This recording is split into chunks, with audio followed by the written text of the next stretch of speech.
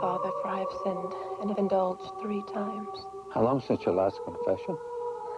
Yesterday. Ah, I see. And where did you meet this man? It's not a man. Is, is it... No. It's... It's... Whip. A whipped topping with 60% less fat than real whipped cream. And it tastes so seductive, you'll surrender to your cravings.